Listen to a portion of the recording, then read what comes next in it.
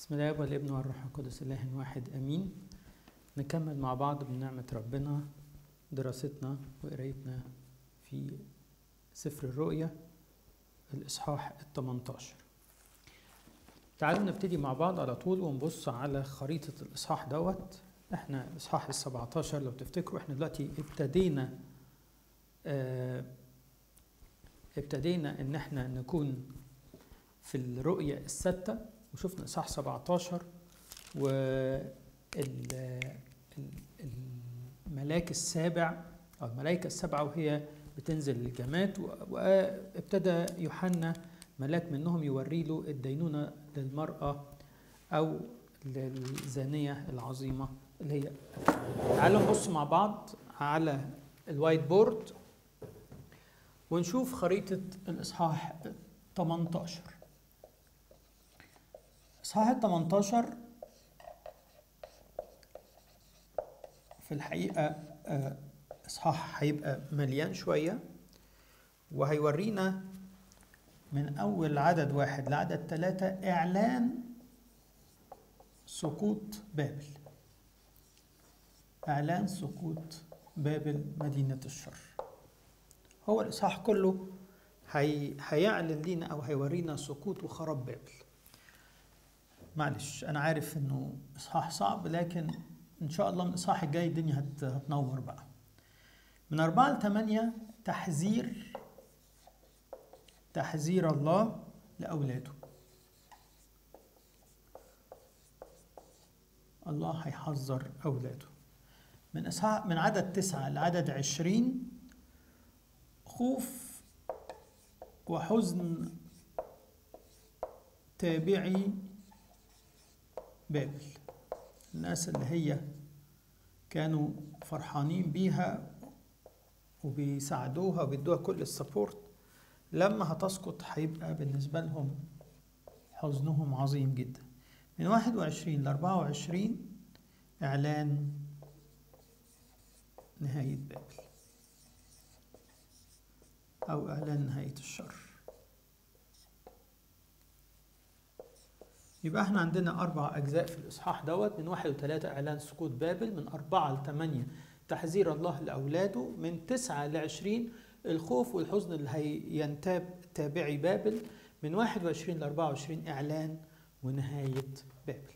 تعالوا مع بعض نبتدي نقرأ الإصحاح ونشوف الأحداث ومعانيها الروحية. يبتدي الإصحاح زي ما اتفقنا هيبتدي الإصحاح يقول كده هو ثم بعد هذا. بعد هذا زي ما اتفقنا إنه بعد كل حدث معين يبتدي القديس يوحنا يحاول ي... ينقلنا لتفاصيل أكتر. ثم بعد هذا. بعد هذا إيه؟ بعد اللي إحنا سمعناه عن خراب أو عن سقوط بابل. رأيت ملاكا نازلا آخر ملاكا اخرا نازلا من السماء. له سلطان عظيم واستنار واستنارت الأرض من بهائه. هنا في منظر شافه قديس يوحنا ملاك عظيم نازل من السماء. والعظمة هنا هوت رمز للسلطان اللي ربنا مديهوله وإنه كلامه بينير الأرض. استنارت الأرض من بهائه. مجده المستوحي أو اللي واخده من الله بينير الأرض ينير فهم وفكر الناس. وصرخ بشدة وبصوت عظيم قائلا. نرجع تاني لكلمة صوت عظيم. طالما في صوت عظيم يبقى في حدث هام لازم كلنا إحنا ننتبه ليه. صرخ بشدة وبصوت عظيم. إعلان وحكم بقى خلاص. موضوع داخل في أن الله هيحكم على بابل بالأحكام. كان في إنذارات وكان في تحذيرات وكان في إعلانات. الآن يأتي وقت الإدانة يأتي وقت الحكم. صرخ بصوت عظيم قائلا سقطت سقطت بابل العظيمه ومحرسا لكل روح نجس ومحرسا لكل طائر نجس ومنقوط. لأنه من خمر غضب زناها قد شرب جميع الأمم. وملوك الأرض زنوا معها وتجار الأرض استغنوا من وفرة نعيمها. صرخ يقول لنا إنه بابل الشر كله هينتهي. مسكن الشياطين مسكن الأرواح النجسه مسكن الطيور الجارحة اللي كانت النفوس اللي كانت أو بتحارب شعب ربنا وأولاد الله كل ده هيسقط. كل ده هيبقى ليه نهاية.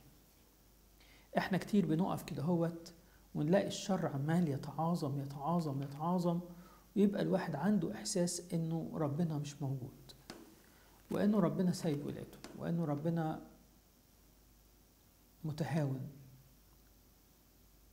إنه سايب كل الشر دوت يتعظم والناس بت بت بتتألم.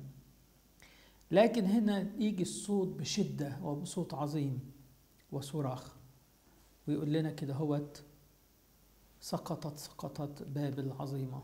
مدينة الشر مملكة الشيطان سقطت. اللي كانت مسكن للشياطين اللي كانت مسكن للأرواح النجسة. النفوس اللي كانت بتسكن فيها الشياطين والأرواح النجسة خلاص ليس لهم سلطان على أولاد ربنا.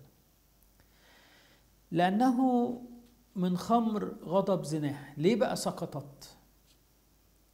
لأنها خلت الناس يزنوا مش زنا الجسد ولكن زنا, زنا البعد عن ربنا. وملوك الأرض زنوا معها. عملوا نوع من أنواع الجوينت كده الترابط ما بين الشر وما بين الشيطان وما بين الأفعال بتاعتهم عشان يبقى ليهم مكاسب. وده بنشوفه كتير. إزاي إن الملوك يقدروا أو يبقوا بيعملوا شرور عظيمة جدا. لأجل إن هو يثبت مملكته. لايك like مين؟ زي بالظبط مين؟ زي لو تتذكروا حضراتكم هيرودس. هيرودس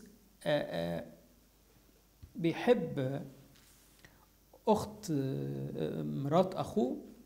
فيوحنا يقول له لا يحل لك. طب يعمل إيه؟ هو بيحب يوحنا على فكرة. اللي يرجع فيكم لإنجيل يوحنا. يقول إن هو كان يحب يوحنا. عشان كده زعل إن هو هيضطر إن هو يطير راسه.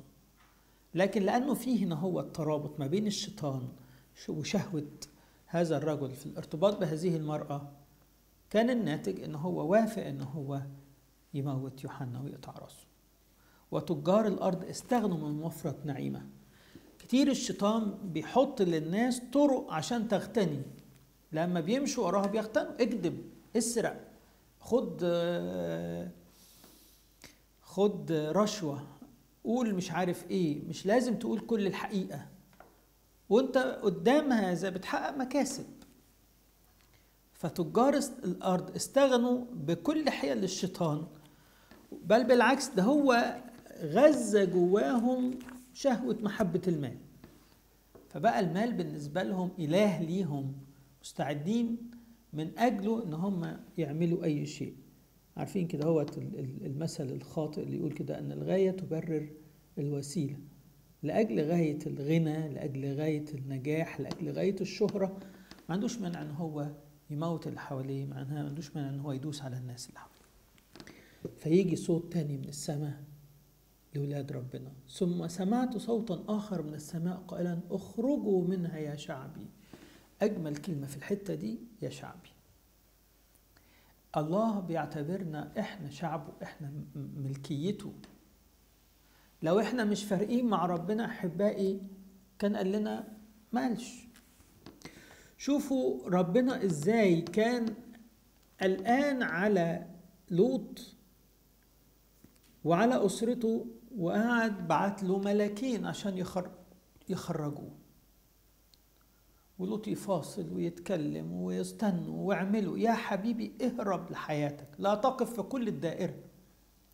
ربنا خايف عليا وخايف عليك وخايف عليكي. ويقول لك اخرجوا منها اخرج من مكان فيه شر. اخرج من مكان فيه خطية. تقعدش في قعدة انت عارف ان القعدة دي نهايتها إدانة ونميمة و... تقعدش في مكان انت عارف ان الكلام فيه كلام غير روحي أو كلام غير بلاش روحي بس كلام غير لائق. لا يليق بينا كأولاد لله يرجع تاني ويكمل. تعالوا نشوف بيقول إيه بقى. اخرجوا منها يا شعبي لئلا تشتركوا في خطاياهم ولئلا تأخذوا من ضرباتها لأن خطاياها لحقت السماء وتذكر الله آثامها. هنا ربنا بيحاول أو الصوت اللي خارج من من ملاك آخر خارج بي بينبه شعب ربنا ويقول له كده هو أو الصوت خارج من السماء كصوت الله. اخرج لألا تلاقي نفسك في القعدة اللي انت قاعدها دي اشتركت في الخطايا بتاعتهم. انت بتحبش تدين انت بتحبش تنمي. لكن القعدة شغالة وحلوت كلام بقى يعني لذيذ. فالواحد لقى نفسه بيخش. الهزار زاد النكت دخلت. زي بالظبط لما يجي حد من الشباب يقول لك أنا ما بشربش بس قاعد مع أصحابي وهم بيشربوا. طب وإيه الأخبار؟ التاثير السلبي عليك عامل إزاي؟ بعد شوية ريحتك هتبقى عاملة إزاي؟ بعد شوية مش هيبقى عندك نفسك كده تجرب ريحة التفاح وريحة الخوخ وريحة التوت. هتلاقي نفسك ما هو يا جماعة الشيطان أذكى مني ومنكم جدا. الشيطان ما بيحطش ريحة الشيشة القديمة البايخة اللي هي بتاعه المعلم كفتة والمش عارف مين اللي قاعد على القهوة والمعلمة فضة. لا لا لا لا. النهارده نطور بقى نخش فيب ونخش بريحة البايب تقيل. لا نعمل حاجة لذيذه وحاجات للبنات وحاجات للولاد. وهجيبك هجيبك هخليك تشترك في الخطايا. عشان كده لا تقف في كل الدائرة. لئلا تاخذوا من ضرباتها. الضربه هتيجي على الخطية دي. انت قاعد في وسطيهم يبقى انت هتتضرب معاهم. هتقولي ما كنتش بعمل. عارفين كده لما يقبضوا على ناس في عربية فيها مخدرات بيعملوا إيه؟ كله بيتشال. ليه؟ ما هو اللي سايق واللي قاعد واللي راكب. العربية كلها اتشالت باللي فيها. كلهم اتهموا. هتقول بس أنا كنت راكب معاهم أنا ما أعرفش. سامحني وسامحيني إحنا لازم نبقى عندنا حكمة. لأن خطاياها لحقت للسماء. عارفين كده هو يقول لما قال كده هو إن شرهم صعد إلى السماء. شرهم صعد إلى السماء. خطايا الناس دي وصلت قدام ربنا وتذكر الله آثامها. طبعا مش مقصود بتذكر إن ربنا كان ناسي وافتكر ولكن تذكر يعني فتح بقى. زي ما أنا بفتح كده أهوت قدامكم. فتح بقى سفر الخطايا كل الخطايا الناس دي. جازوها كما هي أيضا جازتكم وضاعفوا لها ضعفا نظير أعمالها. في الكأس التي مزجت فيها امزجوا لها ضعفا بقدر ما مجدت نفسها وتنعمت إيه اللي هيحصل هنا؟ اللي هيحصل هنا من عدد أربعة لثمانية ربنا بيحذر وبينبه العقوبة اللي هتيجي. أنت كابن ربنا اهرب من المكان ده. لو سمحت لا تختلط بالأشرار. والمزمور الأول واضح جدا. طوبى للرجل الذي لم يجلس ولم يقف. خلي بالك. لأنك أنت لو قعدت هتشترك ولو وقفت هتشترك ولو مشيت هتشترك. لأنه العقوبة هي جاية تذكر الله آثامها فهيجازيها بحسب مجازات أولاد ربنا. طبعا مش إحنا اللي هنجازي لكن الله هيسمح بمجازاة الأشرار. الله هيضاعف عليها أعمالها بسبب خطاياها اللي عملتها وبسبب اضطهدت أولاد ربنا بسبب إنها ظلمت أولاد ربنا بسبب إنها عذبت أولاد ربنا. في الكأس التي مزجت فيها امزجوا لها ضعفا. بحجم الكأس الألم اللي شربته لأولاد الله الله هيشربها أضعاف هيعاقبها. بقدر ما مجدت نفسها وتنعمت إيه اللي هيحصل بقى؟ هي مجدت نفسها وتنعمت. عشان كده خلي بالكم أحبائي الإنسان لما بيخش في لاكجري زيادة بينسى ربنا. والكلام ده قاله ربنا لشعب إسرائيل. قال له أوعى يا إسرائيل لما تخش وتقعد في الأرض وتاكل وتشرب تنسى ربنا. في الحقيقة هم عملوا كده. أول ما قعدوا وأكلوا وشربوا نسيوا ربنا. مش كده؟ كنيستنا الجميلة بحكمتها الروحية تخلي كل شيء نصوم أخبار الخمسين إيه؟ أخبار الأكل إيه؟ إخبار المطانيات والصلاة الدنيا بتنام مع الواحد. فكل شوية تقول لك طب تعالى بقى خد سمرس. تقول ده بتاع مش عارف آه، الكهنة آه، كهنة مين؟ كهنة مين؟ ده الصوم ده لكل الناس. دي كنيسة بتشجعك إنك ت... ت... ت... تسترجع روحياتك وتحمس نفسك تاني. وبعد كده تديك فطار بعد كده تقول لك العذراء جت. صوم العذراء بعد كده يخلص العذراء بعدين تقول لك الميلاد جه. بعدين يخلص الميلاد تقول لك اليونان جه. بعدين يخلص اليونان الصوم الكبير جه. and so on عملية دايرة. كل شوية كنيسة تفطرنا بس ترجع تصومنا تاني. بقدر ما مجدت نفسها وتنعمت. خلوا بالكم إنه كل ما الإنسان بينعم جسده كل ما جسده بيقوم عليه. كل ما تأكله وتريحه وتنيمه وتبطبطه كده يبتدي يهيج عليك. يهيج بقى إنه يطلب أكتر. يبقى مش عاجبه المكان اللي هو قاعد فيه. فعايز يشتغل أكتر عشان يجيب فلوس أكتر عشان يقعد في فيلا بدل ما هو قاعد في شقة. عشان يقعد في شقة كبيرة بدل ما هو قاعد في شقة صغيرة. عشان ياكل مش عارف إيه عشان بدل ما هو بياكل اللي هو بياكله. بقدر ذلك أعطوها عذابا وحزنا لأنها تقول في قلبها أنا جالسة ملكة ولست أرملة ولن أرى حزنا. شوفوا النفس المتكبرة. مجدت نفسها نوع من أنواع في نفوس كده تتكبر على الناس. اللي. ربنا مديله نعمة معينة فيتكبر على الناس. حبيبي بالراحة. اللي عندك نعمة من ربنا. احترس لئلا يسحبها ربنا منك. تنعمت بلذتها وشهواتها. اوعى تسيب نفسك للذة الجسد الحرب موجودة؟ يس موجودة. وكلنا تحت الآلام زي ما قال على إيليا. لكن اوعى تسلم نفسك لما تقول عنها أنا جالسة ملكة ملكة يعني ليا سلطان وليا عز وجاه. آه إحساس بالكبرياء. لكن إنسان متضع شوفوا يعني الفرق الرهيب بين العذراء أم الله وبين اللي بنسمعه هنا هو. أم ربنا تقول عن نفسها إيه؟ وذا أنا أمة الرب ليكن لي كقولك اتضاع. وتقول عنها لست أرملة. عارفين كده هو ال ال ال العجوز اللي هي الصائبة المتصابية يعني عايز تبقى شابة. عجوزة ومش عايزة تحس إنها بتشيخ عايز تفضل في إغرائها للناس وإسقاطها للناس في الخطية ولن أرى حزنا أبدا.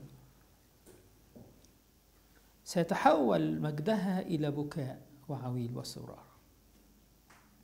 هي شايفة أنه لن يذهب عنها جمالها ولا مجدها. من أجل ذلك من أجل ذلك بقى من أجل حالة الكبرياء في يوم واحد ستأتي ضرباتها. ما عندهاش وقت بقى تراجع بقى خلاص. كأس غضب ربنا امتلأ عليها. فما عندهاش تاني وقت. النفس اللي هتفضل ماشية بالروح ديت بدون روح الإتضاع والنسك والصوم والصلاة. وإن الإنسان يجرب حياة ال- الآباء اللي عاشوا في تجرد ويجرد نفسه بمقدار بسيط جدا. مش لازم آكل كل حاجة بحبها مش لازم آكل كمية كبيرة. ممكن الواحد يتجرد شوية. فده ممكن يوم يجرب ينام على الأرض حاجتين. أول حاجة عشان تكسر شهوة الجسد وت- وتكسر حتة التعاظم اللي عندك. وفي نفس الوقت تحس بالناس الغلابة اللي نايمين على الأرض. فيما هو جر بأحبائي يقدر أن يعين المجربين. لو أنت دقت الجوع هتقدر تعرف يعني إيه لما واحد يقول لك يا أستاذ أنا جعان يا مدام أنا جعانة. هتطلع سندوتشك وتديله وتقول أنا أبقى أروح آكل في يوم واحد ستأتي ضرباتها فاكرين كده هو الغني الغبي لما قعد قال أبني وكبر ووسع. قال له إيه؟ يا غبي اليوم تؤخذ نفسك منك. هذه لمن أعددت. أعددت حاجات حلوة. كبرت ووسعت فعلا. لكن كل ده هيتاخد منك دلوقتي. أنت اللي هتتاخد من الحاجة دي. الحاجة دي هتقعد. وهيجي غيرك يستعملها. تبقى أنت ما استفدتش بيها بحاجة. كان بالأولى اصنعوا لكم أصدقاء بمال الظلم. تكون لنفسك أصدقاء في العالم. فيقفوا قدام ربنا يقولوا فلان ده ياما وقف معانا وسندنا فلان ده ياما تعطف علينا ده كان دايما بيهتم بينا. مين بقى اللي اللي هياخدوا الضربات دي؟ إيه الضربات دي؟ موت وحزن وجوع. وتحترق بالنار لأن الرب الإله الذي يدينها قوي.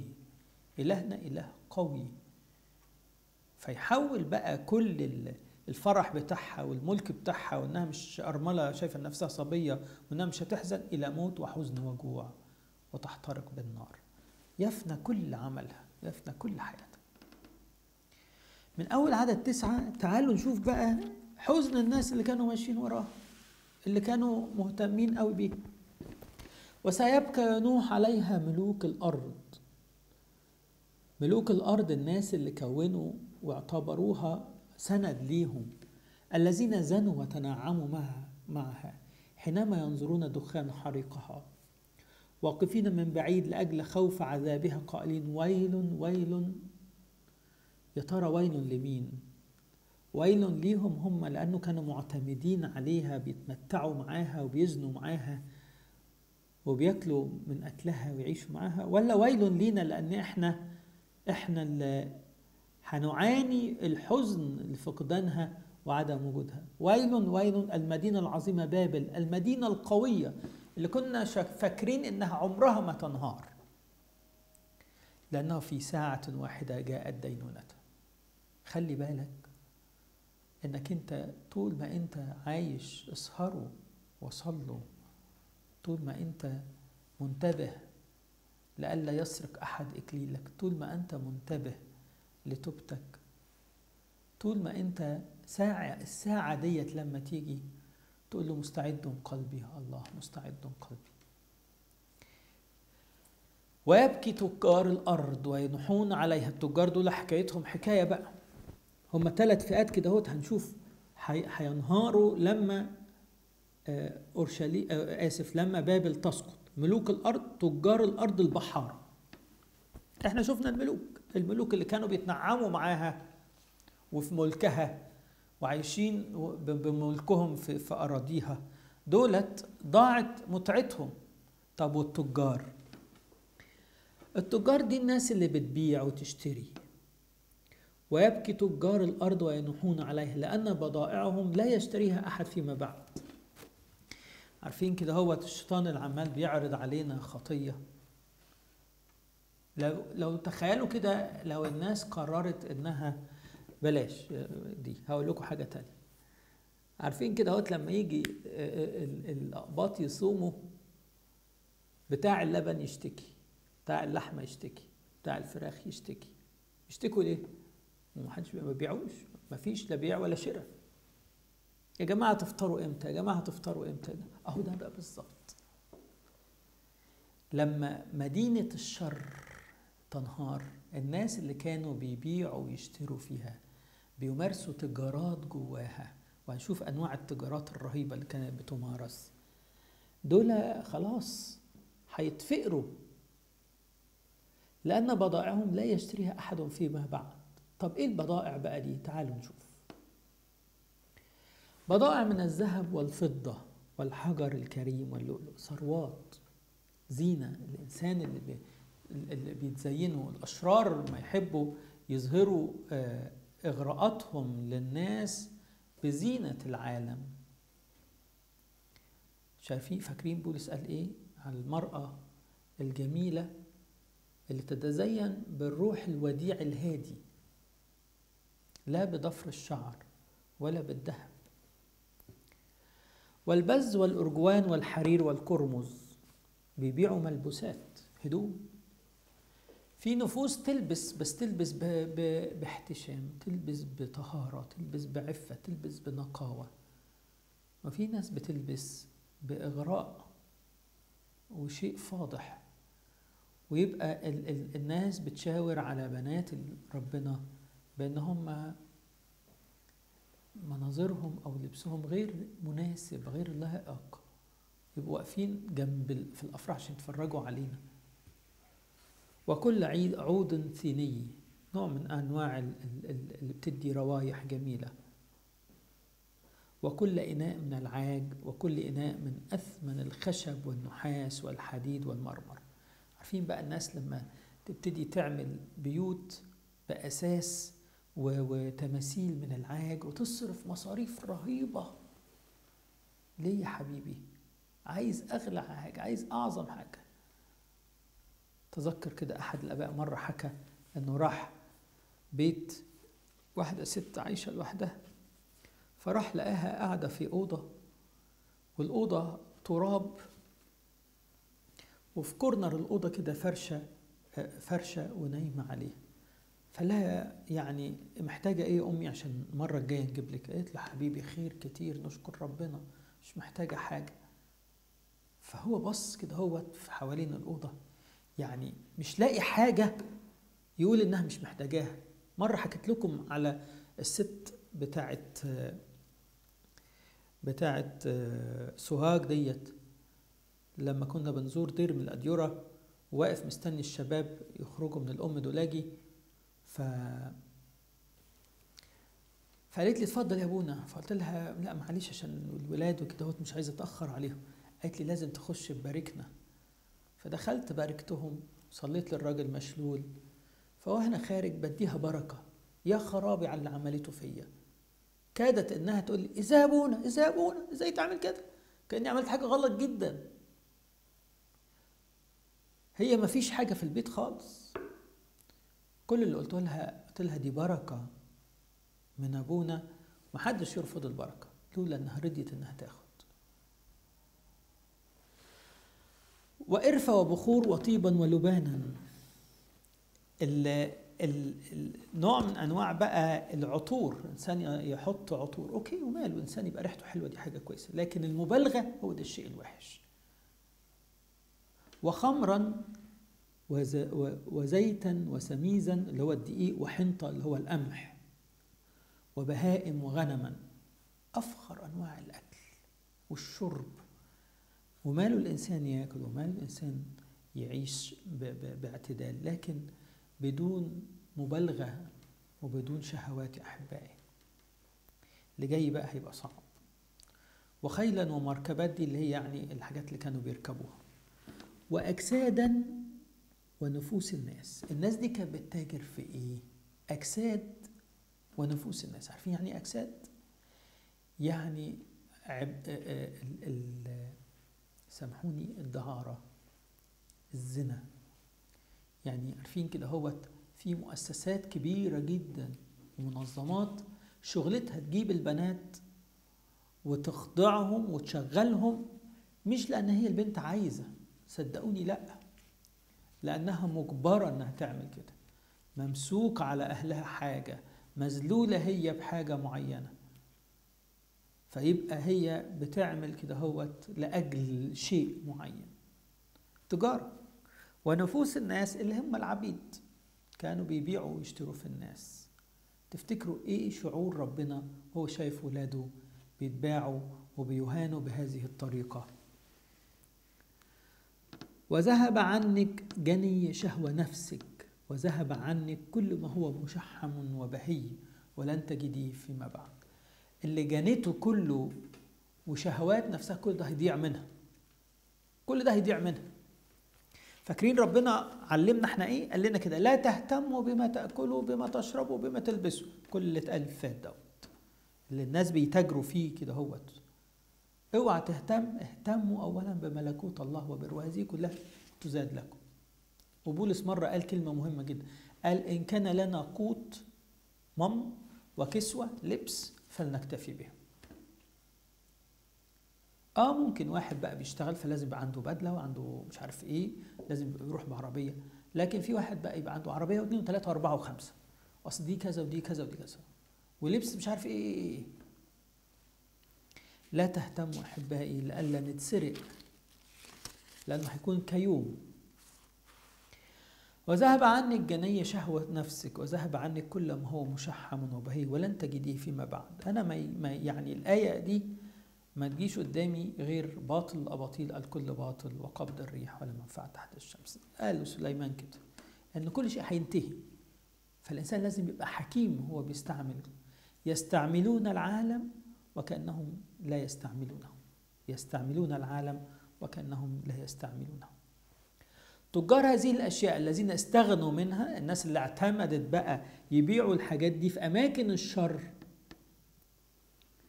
سيقفون من بعيد من أجل خوف عذابها يبكون وينوحون لأنهم هيتخرب بيتهم ويقولون ويل ويل المدينة العظيمة المتسربلة ببز وأرجوان وقرمز والمتحلية بذهب وحجر كريم ولؤلؤ.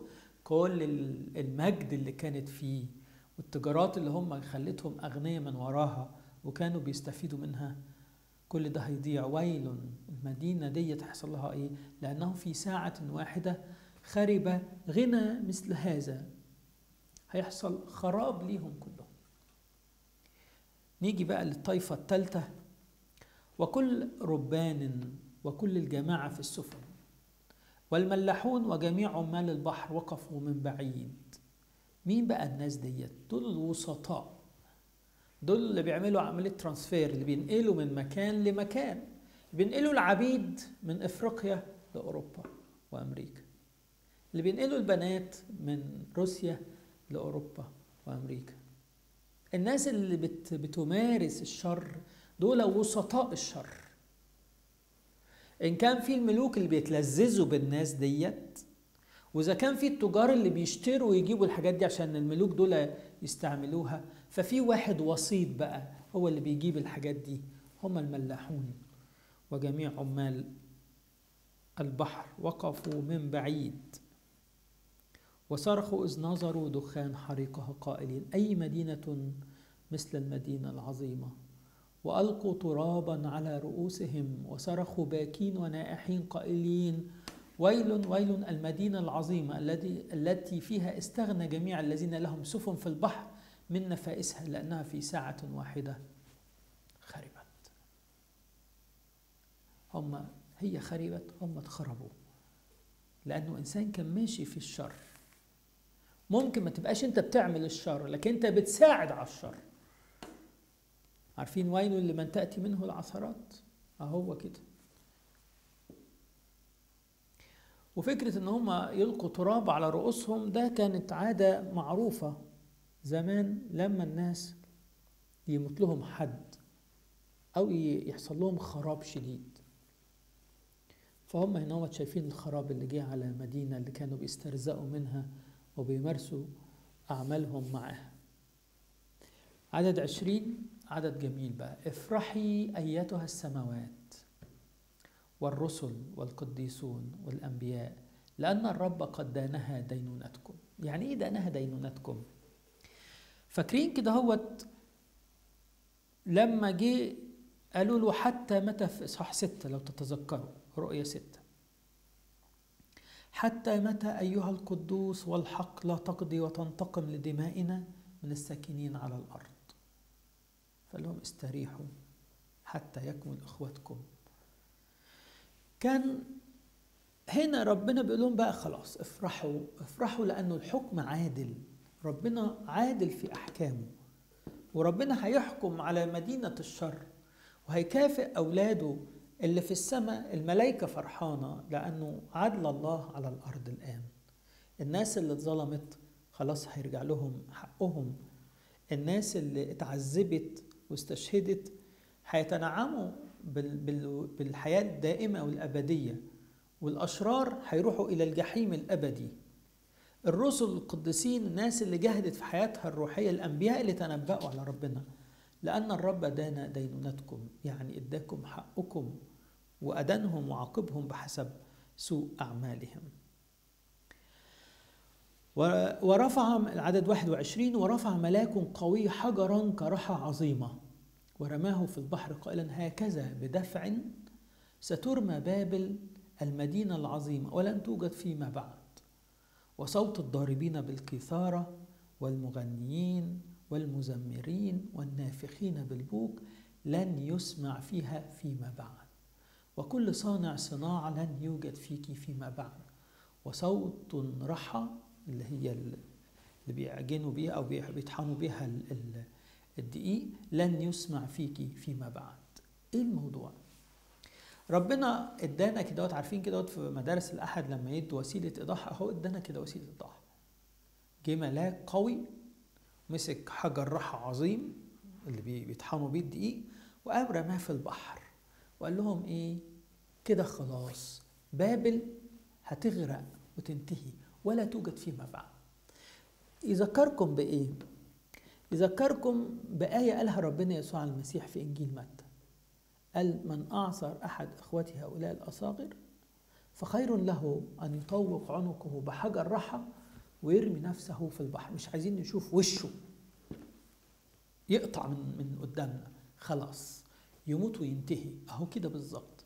الشر هيموت وينتهي وهينتهي كل الأفراح اللي كانت موجودة فيها ولا حتى الأكل ولا الناس ونور سراج لن يضيء فيها فيما بعد ولا حتى نور في بيت هينام هيبان وصوت عريس وعروس لن يسمع فيك فيما بعد.